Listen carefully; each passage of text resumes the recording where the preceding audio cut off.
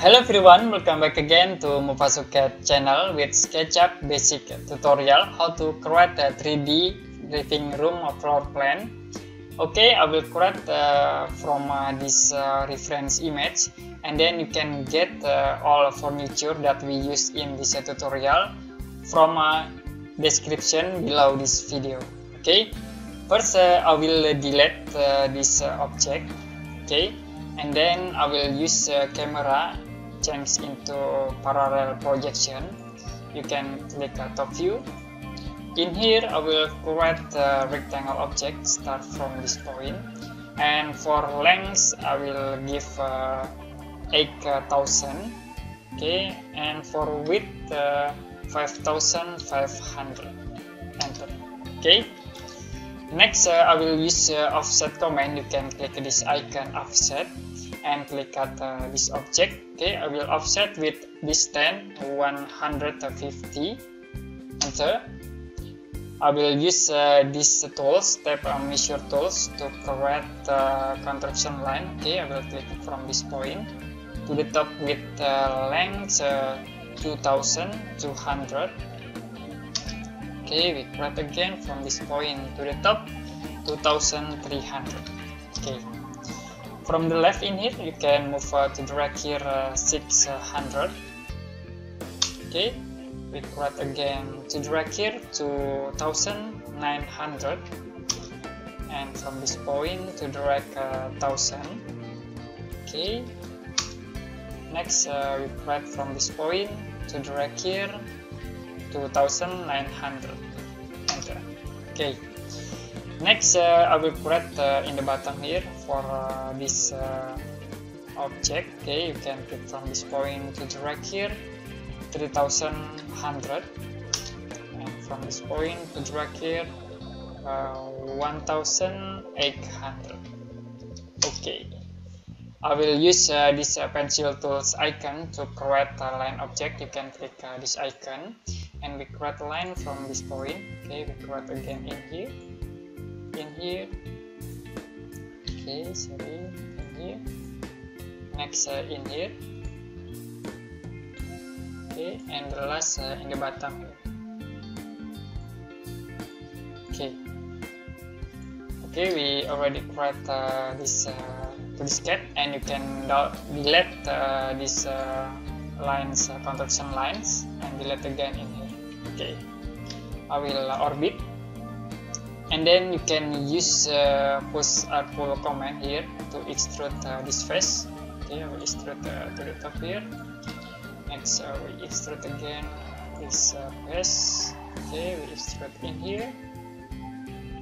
And then in you can select this face and extrude uh, to the top here with uh, distance 1200 okay we extrude again from this point into this point okay.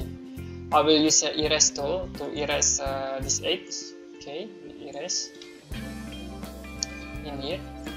This edge and the last one. Okay.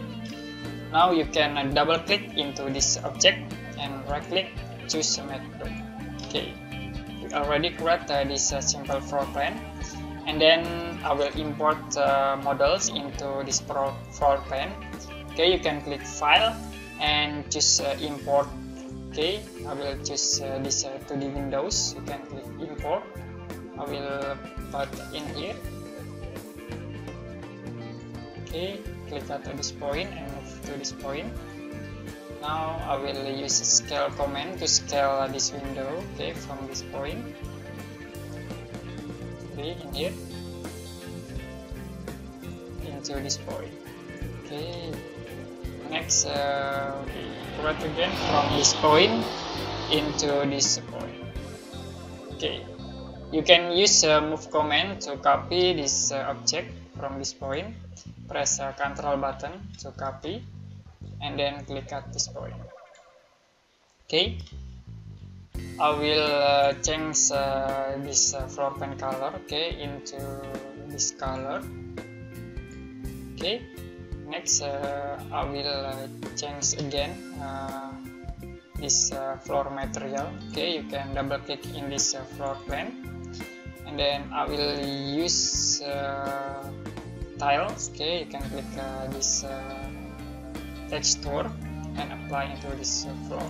Okay I will edit uh, into 2000 okay and can close next uh, I will uh, apply again with change color for uh, this wall. Okay I will choose a color in here and then use uh, this uh, color apply into this space. Okay sorry. I will uh, double click first uh, this uh, object and then we choose uh, this color apply into this face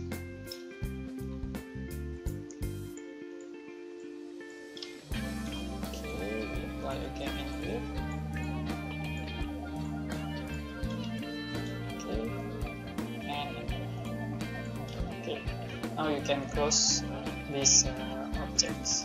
Okay. We attach again a new uh, furniture. Okay you can click file and then click import. I will attach a carpet uh, import and choose uh, top view. Okay I will click at this point and use uh, this rotate command. We rotate these 3d uh, models. And you can move into this point okay and then I will scale these carpet objects into okay okay we import again new model. I will import this uh, sliding door. You can click import. Next I will click at uh, this point and then you can use a rotate command to rotate uh, these objects. Okay use a move command. We move uh, from this point into this point next uh, we can scale uh, this 3d object objects okay from uh, this point into here. Next uh, from this point into this point. Sorry into this point. Okay. We can select again this floor plan okay and you can use push a full command to extrude this space into here okay I will select this face and move to this point select again this face into this point okay in here. And then okay. we can create line. Okay create uh, from this point to this point. And then I will create again in here next uh, I will uh, push pull this object. okay this face uh, to the bottom here.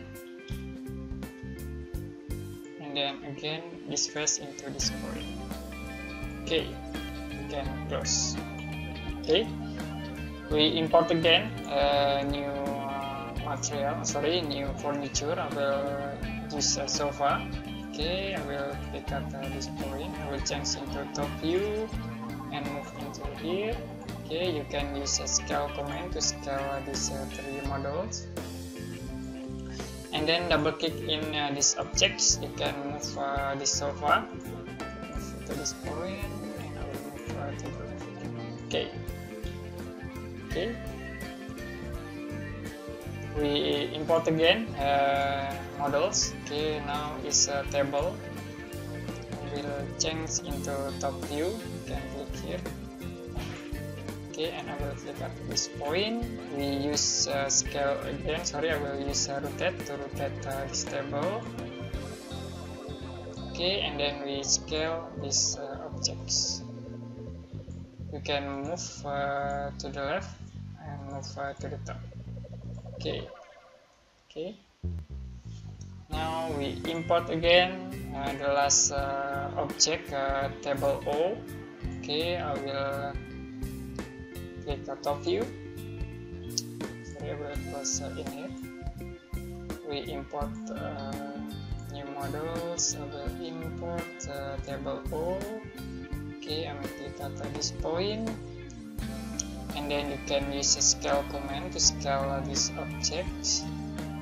Okay next uh, we can use a move command to copy this object. Press ctrl button and move to this point okay okay I will rescale this object more small okay and then this object more small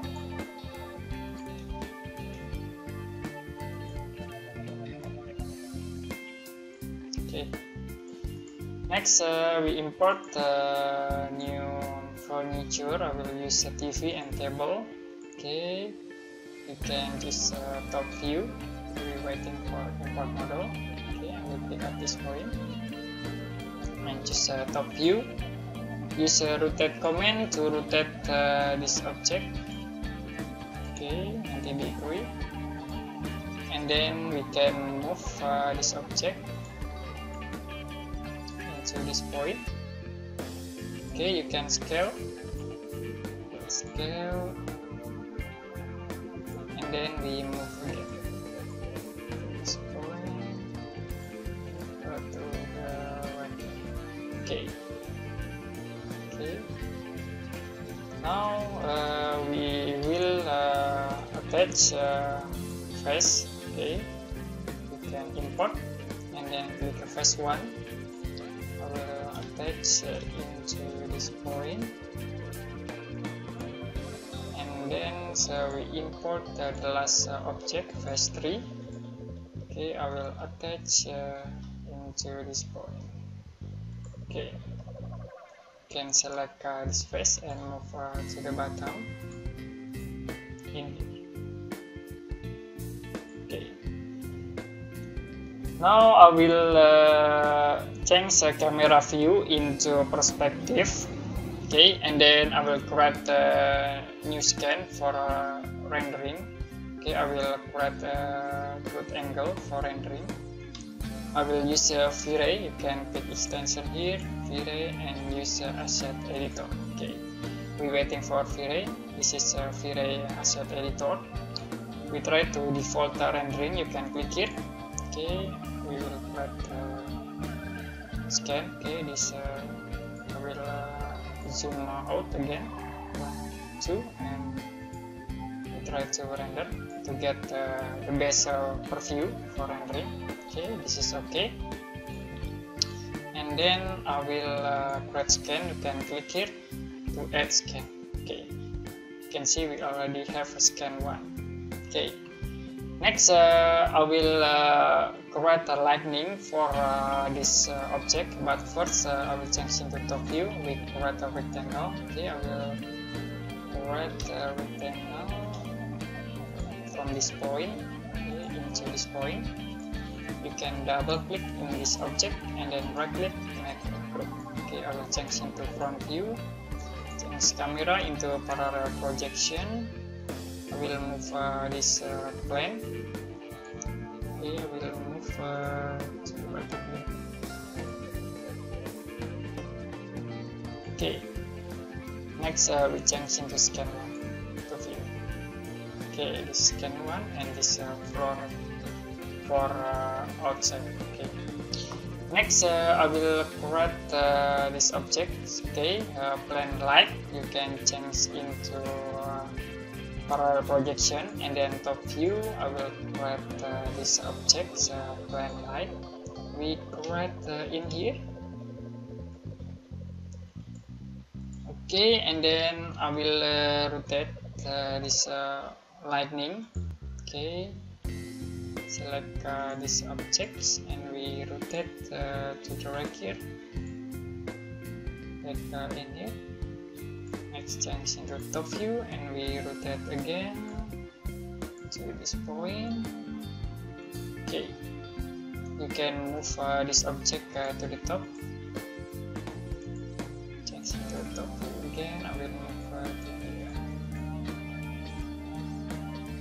okay next uh, we create uh, this uh, plane like uh, again. Okay I will create in here.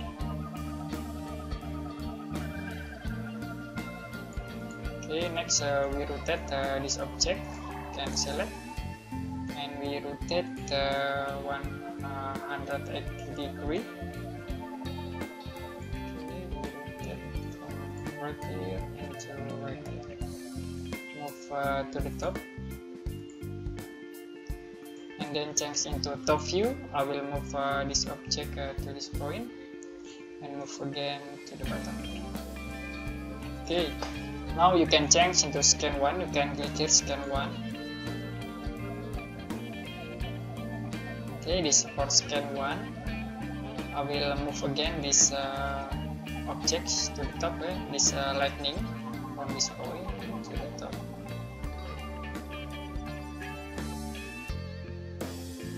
Okay we try to rendering. Okay for uh, this is for default uh, rendering. Okay it's okay. We have a good preview next uh, you can uh, inactive uh, background and lightning sunlight lightning. Okay you can click uh, in here uh, settings and environment you can uncheck this background next I will click this light and you can click sunlight here. Okay click uh, this icon and then inactive this uh, sunlight uh, light okay. Now we try to render again. Okay I will try to render. This is a for view okay you can increase for uh, this lightning. Okay I will increase into 100 this uh, increase again lightning into 100 now you can try to render again. Okay this uh, more bright. And then uh, we can change uh, exposure for uh, this 3d uh, object uh, to make more light. Okay i will stop render here will close and you can click in here settings next click in a camera. Okay and then for exposure in here okay i will change into 12 this for example i will try to render again. And you can see we have uh, good preview for the setting 12 in each pressure. You also can decrease uh, noise okay you can click right trace in here and then you can decrease this uh, noise limit. I will set in here into 0.1 okay and we try to rendering again. Okay is uh, the result for uh, noise uh, 0.1 you also can uh, use this option okay show correction control. We can uh, put uh, more uh, expression in here okay like uh, okay or lightning is for uh, expression you also can change contrast in here okay this for contrast for expression and this for contrast okay I will change again here noise limit into 0.01 okay 0.01 okay and you can see the noise uh, will be limits in uh, this uh, 2D rendering okay Okay, enough today for uh, SketchUp uh, 3D modeling basic uh, tutorial how to create a 3D living room floor plan. If you have any question about this uh, tutorial, you can comment below this video. And see you next time in another SketchUp 3D modeling basic tutorial.